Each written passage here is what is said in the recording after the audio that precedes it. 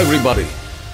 Today I want to talk to you specifically about what I call the 738 55 rule. And this is a major rule in the communication circle. And you see, I've been a trainer for a long, long time, trained multinational companies as well as Christian organizations. And therefore, we come across the 738 55 rule, which is the basic fundamental rule as to how to communicate. So, we are going to get into that. And before we do that, the reason I think this is so important is because every single one of us watching me and probably even watching me later via YouTube uh, are called to communicate, and we are all communicators. God has called us to communicate, and the greatest message that God has called us to communicate is the gospel of Jesus Christ. Romans 1:16 says this, I'm not ashamed of the gospel of Christ, for it is the power of God unto salvation. So, uh, the messenger is important. The message is even more important. But you need the messenger to communicate the message. So we're going to be touching on a couple of things, and I know that this is going to be a benefit to all of us listening to me because you may have the message right, but if I'm not able to adequately compensate the clarity of the message, uh, I'm going to be inadequate in, in portraying the, the depth of the message, and probably that's the reason why people don't get to believe the message. So, we're going to talk about the 73855 rule. Before we go into that, let me go into a scripture from the Bible, and this has been uh, misinterpreted uh, many a time, but I want to show it and give it some clarity. The book of 1 Samuel, chapter number 16, verse number 7, I'm going to read the last line. For the Lord does not see as a man sees, for man looks at the outward appearance, but the Lord looks at the heart. And so, what has happened is this we have seen this verse and uh, come to the conclusion that, well, God is concerned about the innermost being of my heart. I don't care how I look on the outside. It doesn't matter how I appear. It doesn't matter how I communicate. Uh, it doesn't even matter what I what I'm I look like, uh, because end of the day, God is concerned about my heart. And for man looks at the outward appearance. So, in other words, there is a truth within a truth.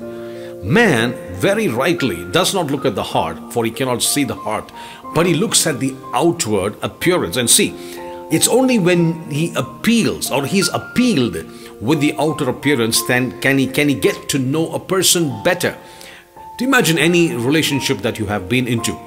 First, there was this outward attraction, uh, a magnetism, and that caused you to like somebody whether it's a colleague at work or even your spouse for that matter.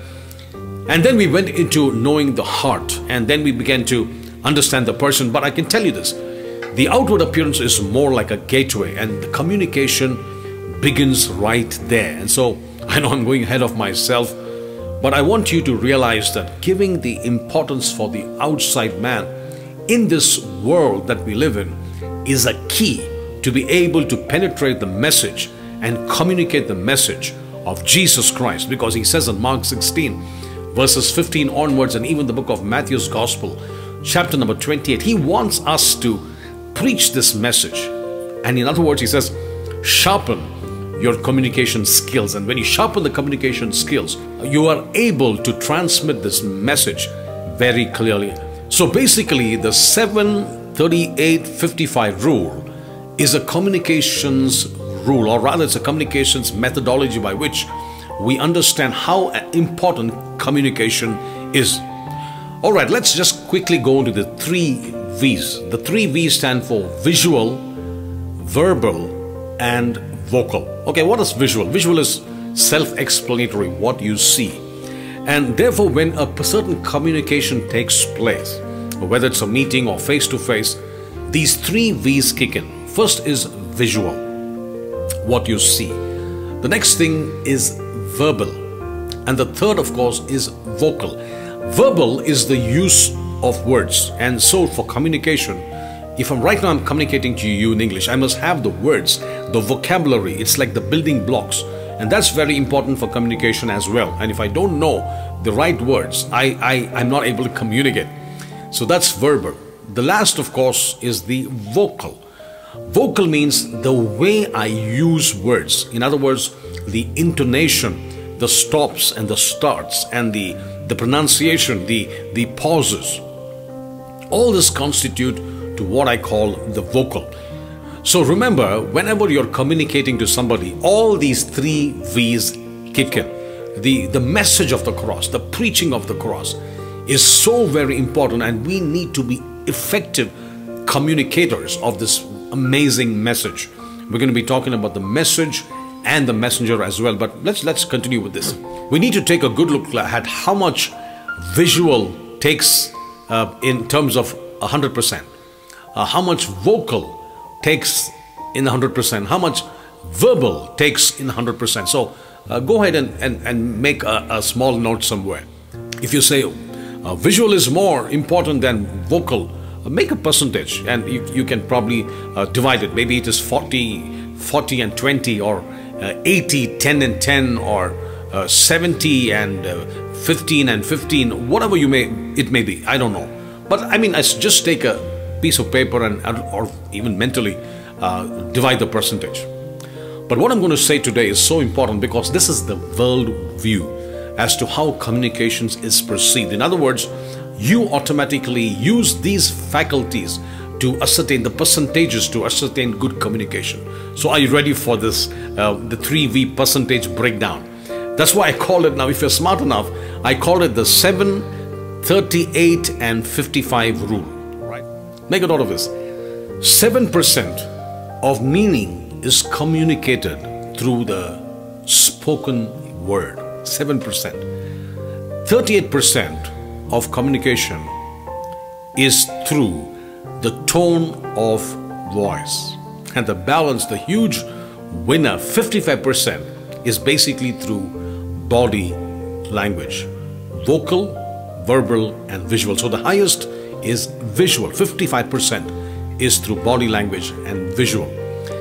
Though this is the world view, I want to also concentrate about how Jesus used these communication skills so effectively. And he, I believe, he's the greatest communicator in the whole wide world. And we're going to see why. But remember this, this is the world view. And we ought to take that, give it, give it a second look. Uh, because whenever we need to preach the message, ensure that we are appealing to them on the outside and then it's easy for them to look at you and then your his mind or her mind begins to do a calculation. And once they you appeal to them it's easy for you to pass the message on and that's very important. That's why i, I, I believe in appropriate dressing uh, in appropriate communication good quality videos so that it is appealing to the person watching. I mean have you ever watched a, a, a video with bad audio or a bad video. Uh, you see, people will not even watch it for two minutes because the audio sound is bad and the video is bad. So communication is hindered, and that's why we call it barriers to effective communication. So uh, if I'm if I'm saying something and you're not able to hear me, that is a barrier to communication. So a barrier could be even the way we look. Uh, you know, not kept well and not dressed well, and uh, we're not appealing to the crowd. So, well, that's another subject altogether. I do not want to get into that. But my main, main importance of this message today is to realize that you're a carrier of an amazing message. And because you're a carrier of this amazing message, we must take a good look at how Jesus communicated this amazing message to the masses. As a matter of fact, Jesus was so effective in his communication. People were there for three days. Can you believe that? Three days. They didn't even have a meal to eat. And on the third day, Jesus says, Well, the people are hungry. Let's give them something to eat. And that is the miracle which happened right there. So Jesus was able to captivate his, his audience with the amazing message of the kingdom of God. Moving on, I want to make sure that we understand the importance of the message and the messenger. The book of Jonah is an interesting book. Uh, before we step into how Jesus communicated, let me just quickly take a good look at how important the message is.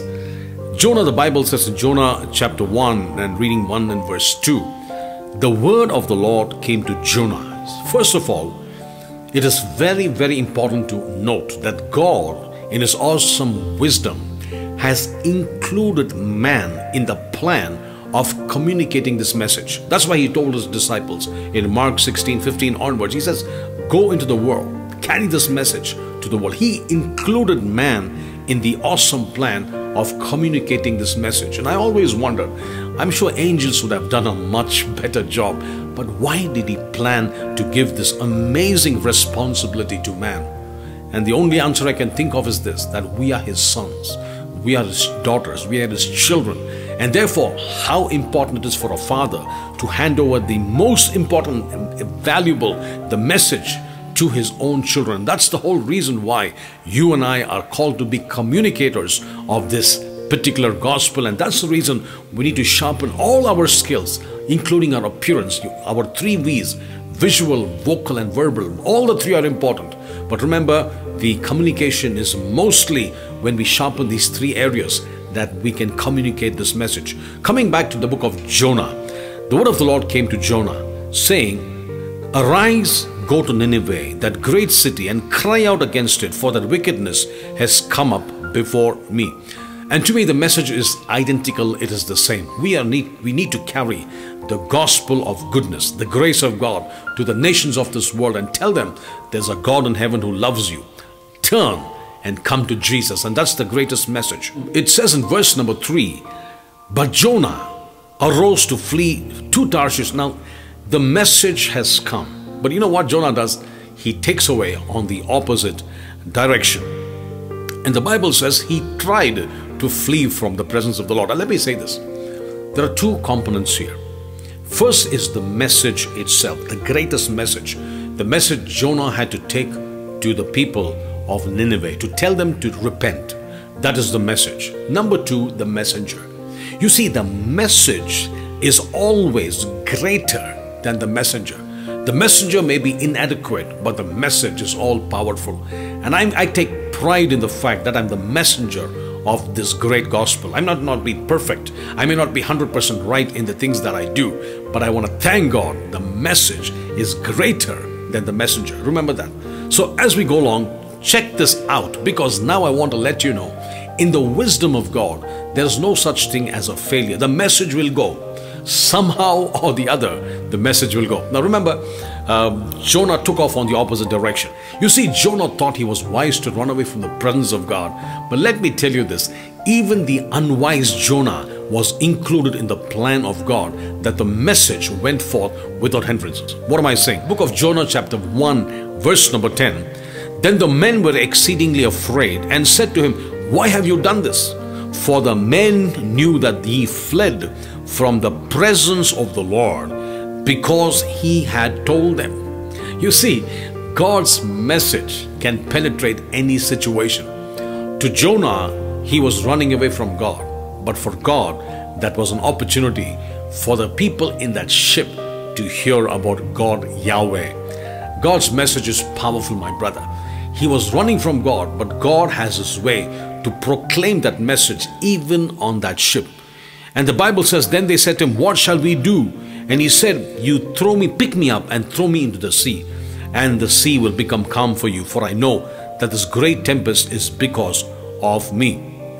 And so, in verse number 15, they picked him up, threw him into the sea, and the sea ceased from its raging. I like verse 16 because you see, the message will go forward. The man ran away from God, but still, I want to let you know the message of God is unhindered. Today, I want to let you know I know we may be facing situations, facing persecution at different levels, but I want to let you know this. If we understand the power of the message, if we understand the importance of the messenger, if you understand how we can communicate this wonderful message, nothing will come against us because this message is unhindered. It was it could not be hindered even by Jonah.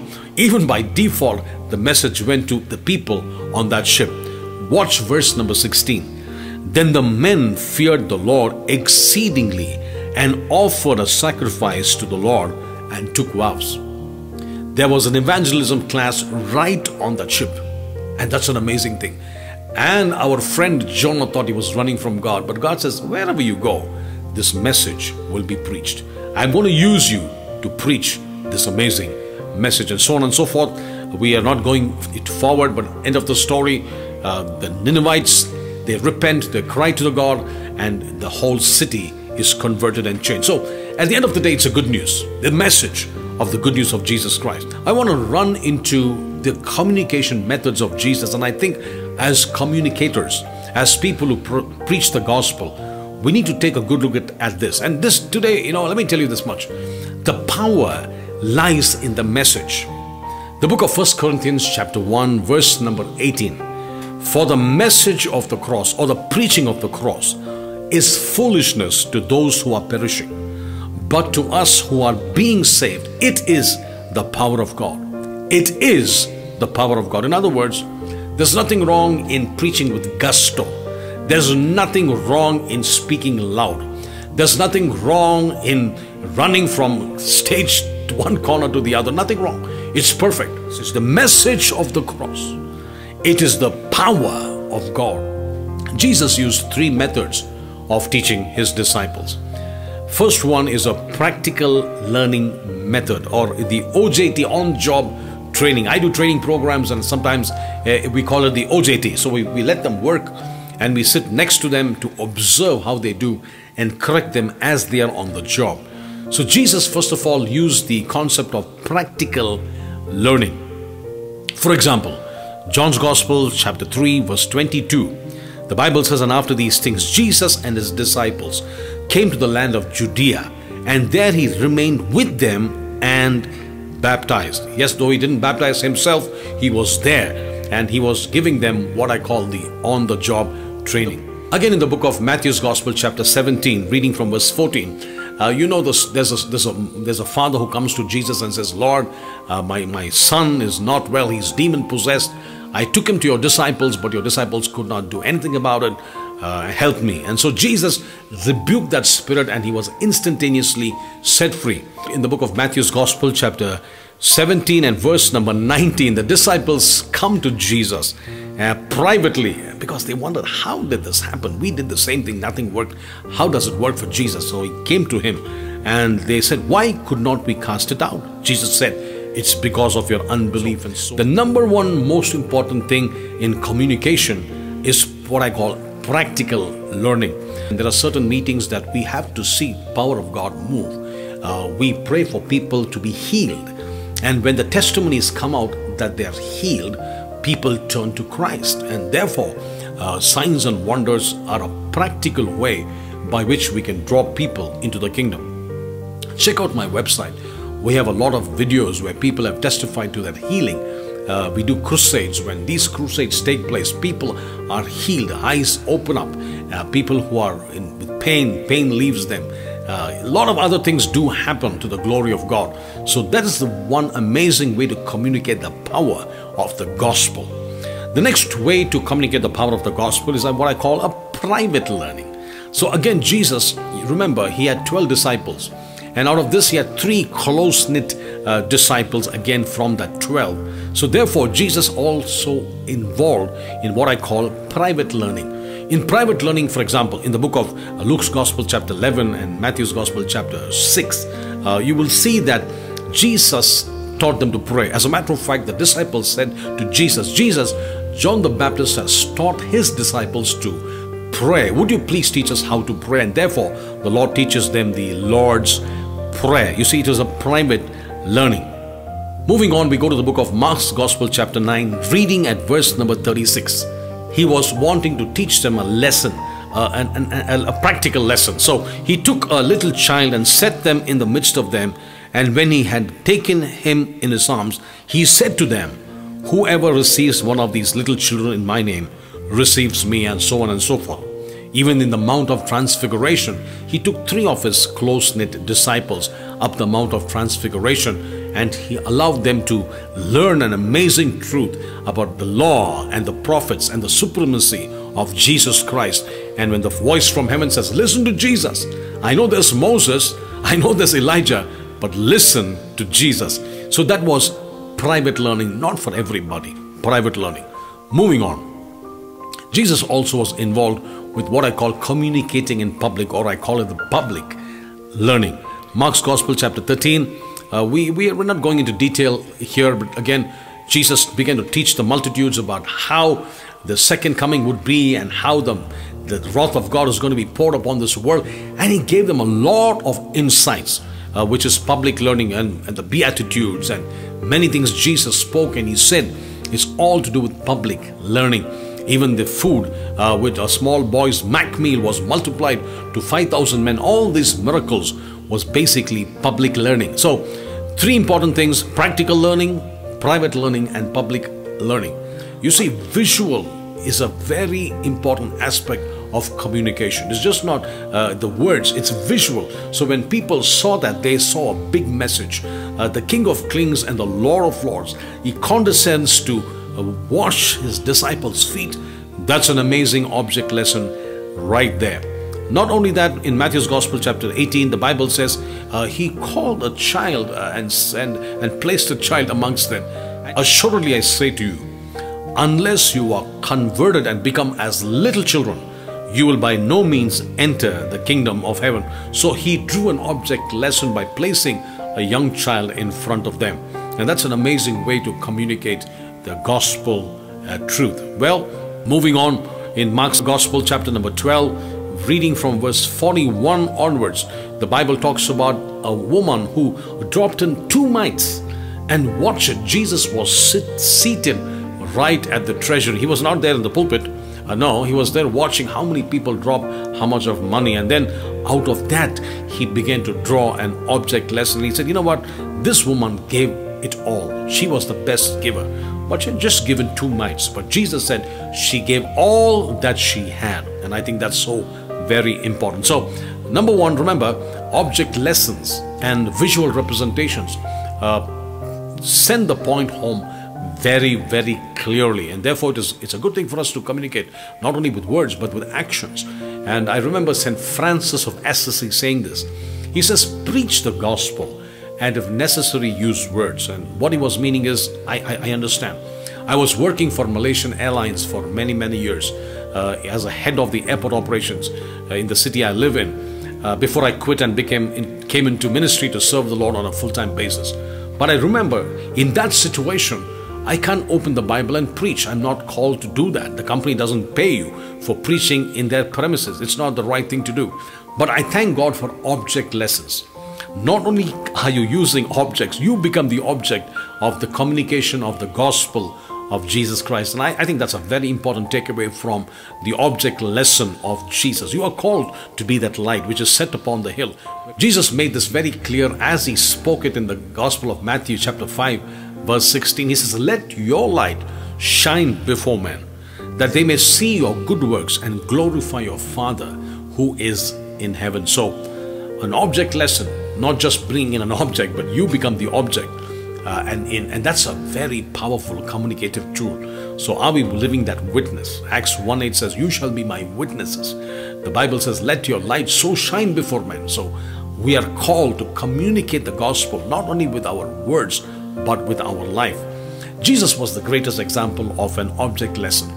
He says, I love you so very much. He went up the cross and he died for us. John 3:16. For God loved so loved the world that he gave the book of Isaiah, chapter 53, verse 10, it, it pleased the Lord to bruise his son. It was just not, I love you, but there was a demonstration. It was an object lesson, a visual representation. And I think this is so very important for us to, to speak the gospel. Today, the problem is this many of us are accused of uh, preaching a great message, but life and lips are not in sync with one another. And I pray, though I realize the message is profoundly important, the messenger, you and me, we need to be in tangent with that amazing message. Well, okay, moving on. The Bible talks about another way he communicated is by means of a dialogue, and this is so very important. Jesus used simple dialogue throughout the Gospels. You would see Jesus dialoguing with people. Good example in John's Gospel, chapter number 2, the wedding of Cana. There was a conversation between him, his mother, him and the servants there. And, uh, you know, he turned water into wine, a wonderful miracle right there. Moving on to John's Gospel, chapter 3, you see the, the dialogue, the discussion with Nicodemus. The Bible says Nicodemus came in the night and uh, he had a conversation with Jesus, and Jesus gave him the greatest revelation he had ever heard that he should be born again, not in the natural but in the spirit. Again, it was all a matter of dialogue. Number three, going back to John's Gospel, chapter 4, uh, the Samaritan woman at the well. Jesus started a conversation uh, using water as his common ground. And then you see, he built on him being the one who is the thirst quencher. Uh, he said, If you come to me, you will never thirst again. The dialogue finally ended in this woman becoming the evangelist of those days. Went to the village, called them, and says, I know who I've been speaking to. He could be the Son of God, a great man. And so uh, the whole town, at least, uh, heard the message of Jesus. What an amazing story. So that was a dialogue. So today, my friend, uh, it is vitally important that we communicate with people, have a dialogue, talk on common subjects, talk about what is uh, bothering people, and build on that so that you will be able to pass on the greatest message uh, to them the message of the gospel of Jesus Christ. Moving on, again, the, another way Jesus uh, began to communicate the message is what I call through comparisons. Again, if you see Matthew's Gospel, chapter 5, we're not going into detail but he says, uh, Blessed are the poor in spirit, uh, for theirs is the kingdom of heaven. Blessed are those who mourn, for they shall be comforted. Blessed are those who meek, uh, who are meek, for they shall inherit the earth. So, you know what Jesus was doing? He was giving a comparison. If you are like this today, if you seek the kingdom, you'll be transformed into something better. And the climax is Matthew's Gospel, uh, chapter 6, verse 33. He said, Seek first the kingdom of God and his righteousness. All these other things shall be added unto you. The Bible again says in the book of Matthew's Gospel, chapter 13, talking about the, the comparisons of the parable of the sower. He says, The sower went out to sow, but he was not talking about the sowing part. He was talking about how the seed uh, would fall into the heart of man and begin to produce fruit. So, lot of comparisons. He says the kingdom of God is like so and so. He began to compare the kingdom of God through natural things and, and he compared how the kingdom of God would operate. He said it's like a, a woman taking a little bit of leaven and putting it in the dough, and overnight there is a transformation. Well, the list is endless, but you know what I mean. Jesus used comparisons to communicate the message. Moving on, Jesus used what I call a hyperbole. A hyperbole is uh, an overstatement to prove a certain point. Example at hand Matthew's Gospel, chapter 19, uh, verse 24. And the Bible says, And again I say to you, watch this hyperbole. It is easier for a camel to go through the eye of a needle than for a rich man to enter the kingdom of God. This is a hyperbole. I mean, he took it to such an extreme that you need to stop to think what he was saying. Well, he is not talking about practically a rich man entering through the eye of a needle. No, no, no, no. He had a message behind that. We're not going into the message, and neither was Jesus indicating that a rich man will not reach heaven. No, that was not his message. But we're not going into details, anyways. Again, Matthew's Gospel, chapter 5, reading verse 29. He says, If your right eye causes you to sin, pluck it out and cast it from you. For it is more profitable that one of your members perish than for your whole body to be cast into hell. And so the Lord was saying this if your eye sins, take it out. What if the next eye sins? Pull it out. And he went on to talk about the hand. If your right hand causes you to sin, cut off your right hand. And then what happens to the next one? If you sin again with your hand, cut it off. You see, the point was not about cutting your hands or pulling your eyes. He was talking about the reason why a person sins is the condition of the heart. And so Jesus used hyperboles uh, to, to bring forth a message. And today, you and I, uh, we must be able to contrast the system of this world to the system of God. And sometimes I preach this way I said, listen to me, the system, everything in this world is failing. You know, the banking system, the education system, the financial markets, everything is failing. But you know what? I can, can can I tell you about one system that never fails? They say, which one is this? Then I tell them the kingdom of God. It never fails. It never falls. You see, we can cause a hyperbole uh, to bring forth this message. Well, um, take a good look at this message one more time because all that I'm saying, I may be a little quick in, in moving on, but that's the reason why this is recorded. Uh, you can go to our website, sandeepdaniel.org, go to our YouTube channel, Sandeep Daniel uh, check this out, Sandeep Daniel Ministries, check it out. And if I'm too fast, that's the reason we record them. that you can visit our site again and listen to it, that you'll be able to understand the different methodologies of communication of our Master, Jesus Christ. Remember, you are that messenger. And unless we carry that message and adequately present the message, can somebody be benefited? The message of the gospel of Jesus Christ. It is you whose God is depending on you. You are his mouth, uh, you are his hands, you are his feet. And that's that's so important, my brother, my sister. Well, let's move on.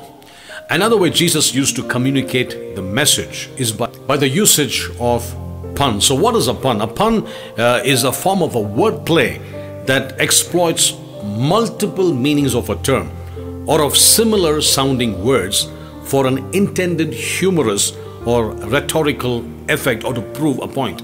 Let me give you a few examples of how a, a pun sounds. She had a photographic memory but never developed it. That's a pun. Well, uh, the two pianists had a good marriage. They always went in a car. A chicken farmer's favorite car is a coupe. Another pun is this How do construction workers have a party? The, the pun is they raise the roof. And so these are all puns. So Jesus used so many puns in the way he spoke. Therefore, of course, uh, we will not be able to fully understand it because he was using the, the language of that day. But uh, in, in Matthew's Gospel, chapter 23 and 24, he says, Blind guides who strain out a gnat and swallow a camel. So the word gnat and camel are both gamla or galma. He was playing on those words. I am not a Greek student, so I'm not able to adequately explain it. One thing I know, Jesus used puns to get a message across, and the people of that day understood exactly what Jesus was speaking. And the next way Jesus began to communicate is by asking questions he would always invoke a question and then he would begin to explain. And that's a fantastic way to communicate the message of the gospel of Jesus Christ. Asking people, what do you think of this present crisis? What do you think of the scenario of this COVID 19? What is expected of this? What is your take about what happens? And so, when people come up with an answer, you can always go back to the scripture and assure them that the kingdom that we are built on is the kingdom which will never fall and never fail. And what Jesus did on the cross is an answer to every problem that you are facing. Matthew's Gospel, chapter 16, verse 26. For what profit is a, it is to a man that he gains the whole world and loses his own soul? Another question. What will a man give in exchange for his soul?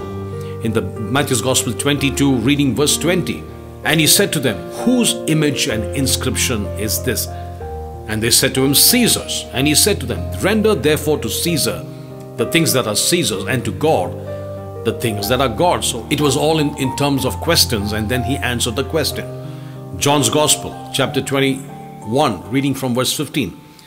So when they had eaten breakfast, Jesus said to Simon Peter, Simon, do you love me more than these? And then again he asked him in verse number 16, uh, Do you love me? And again in verse number 17, Do you love me? Question arising out of the question, he was able to bring the right answer. And, and, and of course, Peter said, Lord, I love you. Uh, that was how he invoked an answer by asking a question. Again, Matthew's Gospel, chapter 16, reading from verses 13. Jesus asked a question to his disciples. He says, Who do men say that I, the Son of Man, am? Ask them a question. So, Jesus was good at asking questions. You can use this methodology to ask a question and then give them the answer. The last but not the least is Jesus used what I call repetitions. In Mark's Gospel, chapter 8, verse 31, you'll find that in, he says, And Jesus began to teach them that the Son of Man must suffer many things and must be rejected by the elders. And you will see that again in the Mark's Gospel, chapter 9, verse 31. Again in Mark's Gospel, chapter 10, verse 33. At least three times in the book of Mark itself, Jesus repeatedly told them that I will die and I, they will put me in a tomb. But on the third day, he said, I will rise again. That's good news. That the Christ that we worship cannot be held in a tomb. He will ro- he rose again from the dead. He's got the keys to hell and Hades. He's he is seated on the throne. He's the King of Kings and the Lord of Lords. He has all authority, all power, rule and reign. And this is the good message The reason why we are doing this is because I know that we are serious students of the Word and we are learning how to communicate. And I pray that all that I've said would come some way or the other uh, handy, that we will remember the methodology of Jesus. Remember this uh, the, the power is in the message, but the messenger is equally important because he carries the greatest message of all time. And I pray through this particular teaching, you will be able to speak this message with clarity, with conviction, because that's what is expected out of you. Remember the rule I know man looks at the outside, so do all that it takes for people to accept you, that the message of Christ will go unhindered. Thank you for this time. May the Lord richly bless you.